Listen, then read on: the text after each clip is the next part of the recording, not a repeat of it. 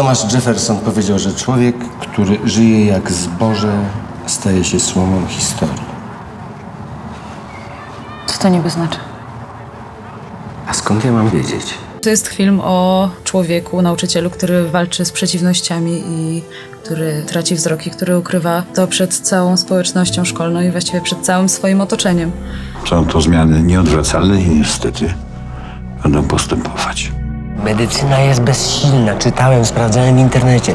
Jakieś pół miliona ludzi choruje na to na całym świecie. Wziął pan od matematycznej.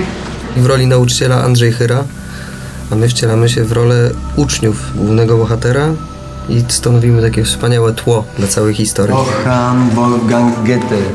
Może cię to zdziwi, ale nie był to piłkarz Bayernu. Miałam do czynienia z Andrzejem Chyrą na planie obietnicy. Tam wcielał się mojego ojca. W carte blanche gra mojego nauczyciela, czyli poniekąd dość podobna rola i dość podobne relacje. No i to właśnie on poprowadzi trzecią B do matury. Co, jakieś piwko? Nie mogę. Kiepski byłby ze mnie wychowawca. Nie wszyscy tak uważają.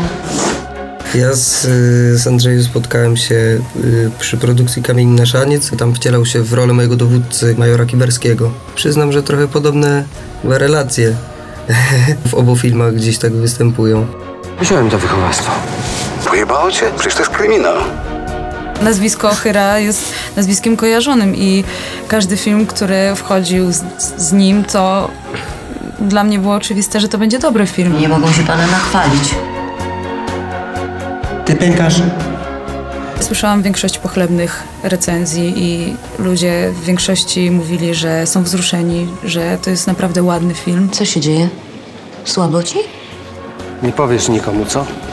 Ja mogę powiedzieć z perspektywy mojej dziewczyny, która znała zarys taki dramaturgiczny, też przyznała, że, że wzruszyła się po prostu oglądając film. To, że historia jest oparta na faktach, to zawsze dodaje tego posmaku, że to się wydarzyło naprawdę i większy ciężar jakby jest w tej historii, którą oglądamy i to bardzo rusza. I naprawdę były momenty, w których, w których siedziałam z zapartym tchem. Nie widzisz, rozumiesz, kurwa, i za chwilę stanie się jakieś nieszczęście. Przecież wcale tego nie chcesz. Widz dostanie motywację do walki o siebie, wiarę w lepsze jutro, wyjdzie z jakąś taką nadzieją. Jestem gotów. Cześć, Cześć. Tu Tomek Ziętek. I Elizary Cembel. Bardzo serdecznie zapraszamy na film Carte Blanche. Zrobimy jeszcze jeden? Browarek dzisiaj?